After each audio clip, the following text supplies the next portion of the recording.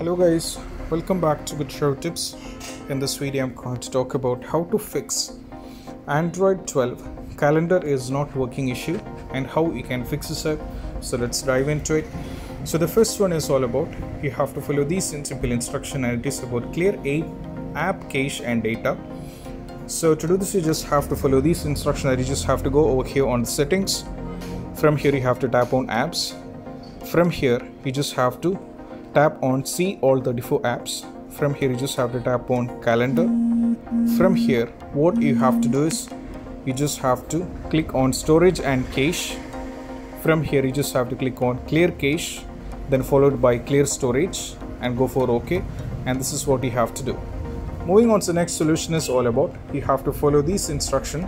That is you have to make sure that your particular app once after done with the clear cache you have to make sure that you're having correct date and time setting this is very important so to do this you just have to go back to the setting itself and you have to go to system now from here you just have to make sure here on the date and time so you have to make sure it is set automatically resolved and, and it's correct this is very important and moving on to the next solution is all about you have to update the calendar app so to do this you just have to go to the play store and you have to go over here and you have to search for sorry you have to search for calendar you have to search for calendar now from here you have to select your google calendar which is over there and you have to update the respective calendar. This is what you have to do.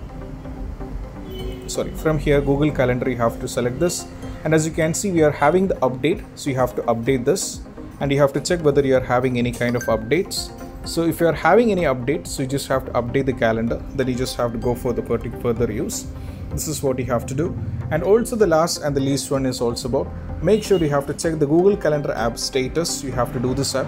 So that is what also these are some of the basic steps that you have to try out when the google calendar app is not working on your android 12 and how you can fix this up. And i hope this video is helpful. And if you find this video helpful don't forget to subscribe and click on the bell icon for more notification. See you soon in the next video. Peace out